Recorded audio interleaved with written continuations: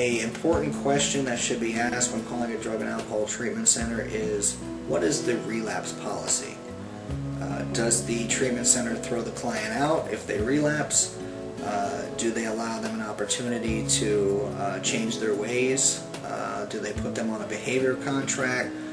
What does the treatment center do should someone relapse? Um, addicts and alcoholics did not come to treatment uh, for singing too loud in the choir. Relapses. Does a client, does a treatment center take $20,000 from a client and if they relapse within the first week, do they refund it? Uh, or do they try and work with the family and the client to see why they relapsed? Uh, what were the reasons behind it? What led up to it?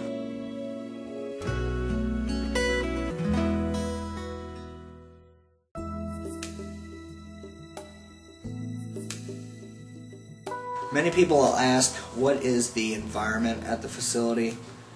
A typical treatment center's environment is really based on the therapists and the atmosphere that they provide. Um, the physical surroundings may include um, beautiful apartment buildings, it may be a blue-walled hospital-like setting, um, but the therapists uh, and their attitudes uh, towards treatment and the client's recovery tends to set the, the, uh, the stage for uh, what type of environment the clients are going to be in.